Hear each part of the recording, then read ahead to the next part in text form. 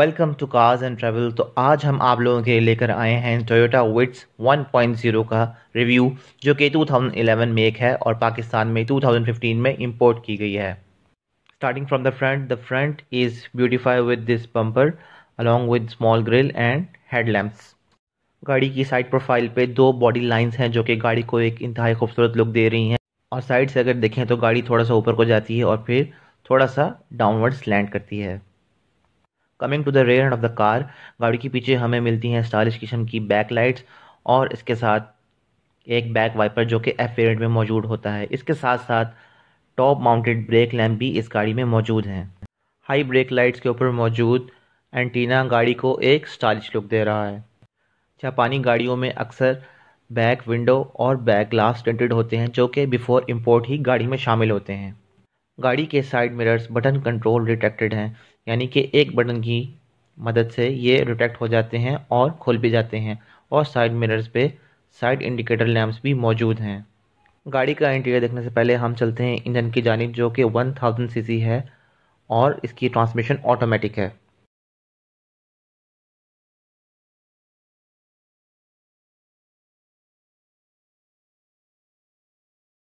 Steering is simple और AC के controls manual हैं। और अगर हम देखें स्पीडोमीटर को तो वो एनालॉग है और इसके अंदर आरपीएम गेज नहीं है। ड्राइवर के डोर के ऊपर विंडोज़ के कंट्रोल्स मौजूद हैं, जिससे विंडोज़ कंट्रोल की जा सकती हैं। और अगर गाड़ी की स्पेस की भी बात की जाए तो काफ़ी स्पेशियस है। बैक पे दो बंदे आराम से बैठकर ट्रैवल कर सकते हैं। और अगर हम बूट स्पेस की बात करें तो वो भी काफ़ी एम्पल है, यानी कि काफ़ी सामान इसमें रखा जा सकता है। अब चलते हैं डॉक्टर इरफान के पास जो कि इस गाड़ी के ऑनर हैं।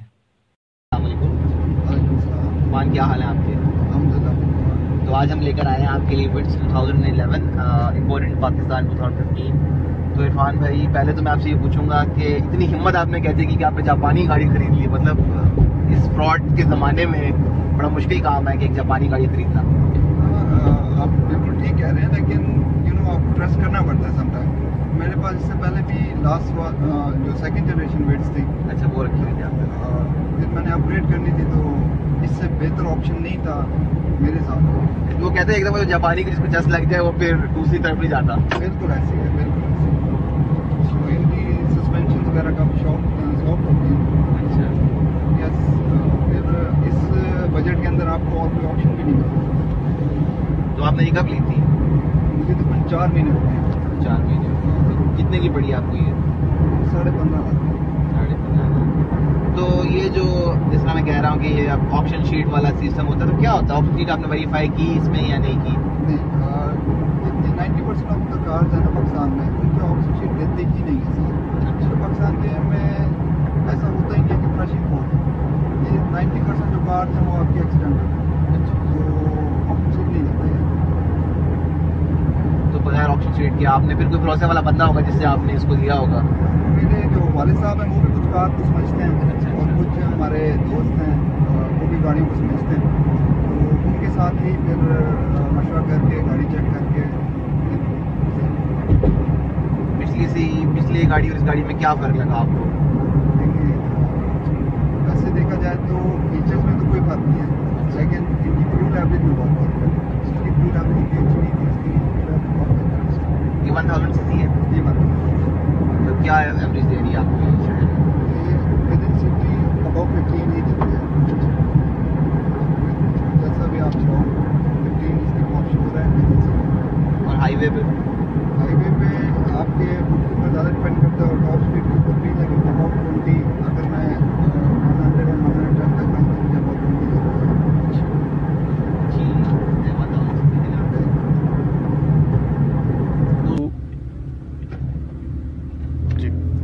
इरफान मुझे ये बताएँ कि जब आपने ये गाड़ी ली तो उसके बाद अब आपको जो है कोई इशू तो नहीं है इस गाड़ी में?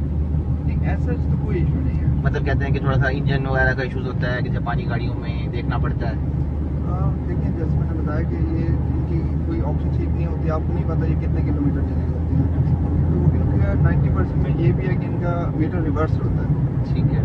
तो एक शीट इसके साथ अवेलेबल होती है ऑप्शन शीट नहीं होती लेकिन इसके डॉक्यूमेंट्स में उसके अंदर लिखा सारा जापानीज में है लेकिन पढ़ने वाले उसको पढ़ लेते हैं ट्रांसलेट कर लेते हैं इसके अंदर इसके किलोमीटर्स लिखे होते हैं एट द टाइम ऑफ़ वहाँ से जब एक्सपोर्ट होने लगती है।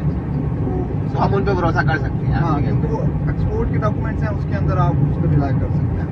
तो वो रिलायबल है। तो क्या आपको क्या प्रोज एंड कॉन्स लगे इस गाड़ी में जो आप बताना चाहेंगे? देखिए इसके प्रोज बहुत सारे हैं। लाइक ये बहुत स्मूथ ड्राइव है इसकी ब्रेक्स बहुत अच्छी हैं इसकी एवरेज बहुत अच्छी है। आप पाकिस्तानी गाड़ी से कंपेयर करें तो वो तो सब चीज़ें बहुत परफेक्ट हैं लेकिन जो एक चीज़ मुझे लगती है कि थोड़ी सी अंडर पावर है लैग करती है गाड़ी अगर आप इसको एकदम से एक्सलेट करें तो यानी कि आपने दबा के चलानी है दबाया उठानी गाड़ी तो वो उठती नहीं है उस तरह इस तरीके से उठती नहीं है जिस तरह मैनुअल गाड़ी उठती है चाहे ये बच्चा भी हो सकती है या वैसे ही मेरे पास लास्ट मॉडल भी था वो भी नहीं इस तरीके से पिक उसकी इतनी फास्ट नहीं थी। और ये पार्ट्स वगैरह क्या इशू आपने पहले भी रखी हुई थी जापानी गाड़ी बिट्स रखी हुई थी तो अब आप पार्ट्स के अवेलेबल हो जाते हैं बड़ी एक्सपेंसिव होते हैं मैंने तो सुना है पार्ट्स अवेलेबल तो हैं बिल्कुल सारे पार्ट्स अवेलेबल हैं लेकिन बहुत एक्सपेंसिव है इसका मैंने फ्रंट बम्पर ही सिर्फ़ पता करा तो दस लाख का अच्छा ठीक है बम्पर अगर आप असम्बल किसी का भी लेंगे तो दस लाख तक नहीं है। लेकिन क्योंकि यार वैसे अब की बात है मेरे पास जो वीडियो है वो मेरी गाड़ी थोड़ी सी लगी थी तुम्हें कुर्ता लग गया तो वो वो तो कहता कि अठारह हज़ार रुपये का बम्पर दे रहा था मुझे। सोलह हज़ार अठारह हज़ार का। फिर इसलिए आज से तो बेहतर समझ लो कि आप चालीस हज़ार बचाएँगे इसके। नहीं ये आपकी जो है ना वो थोड़ी सी एक्सेप्टल कार है अच्छा। ठीक है वरना लोकली असम्बल गाड़ी अच्छा आपके मेहरान या कल्टस की बात करें। मेहरान कम या इस इस कंपटीशन की जो गाड़ियाँ हैं इस लेवल की जो गाड़ियाँ जो हैचबैक्स हैं उनकी इतनी महँगी नहीं है अ, तो इरफान भाई बताएँ इसकी ड्राइव कैसी लगी आपको? इसकी ड्राइव बहुत इसकी जो रोड ग्रिप है वो पाकिस्तानी गाड़ी में इस वक्त बहुत बेहतर है। अगर आप हाई स्पीड में आपने ब्रेक लगानी है तो आपको ये नहीं फील होगा कि गाड़ी स्केटिंग कर रही है। वैसे तो एबीएस है इसके अंदर लेकिन मोर एफिशिएंट ब्रेक है। और इसके अंदर एयर बैग्स भी हैं safety feature dual air bag है